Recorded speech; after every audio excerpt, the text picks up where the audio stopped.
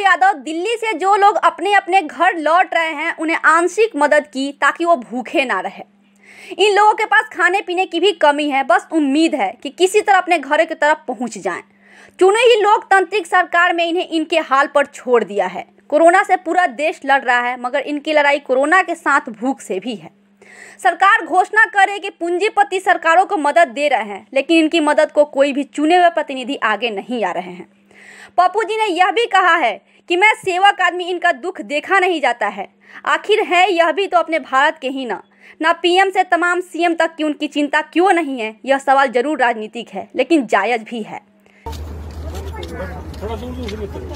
मैं दो आगे आगे जाते रहो। दूर रह रहे के लीजिए।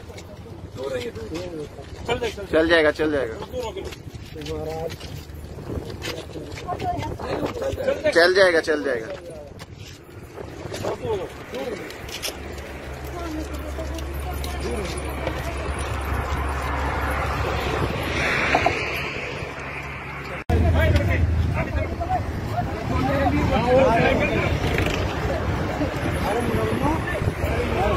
अरे लाइन लगा लो ना ऐसे क्या फ़ायदा लाइन लगा लो। लाइन हटा लो यार। भाई लाइन अंकल ऐसे मत करो ये डबल डबल मार जाएँगे ऐसे मत करो। अरे यार डबल नहीं रहेंगे डबल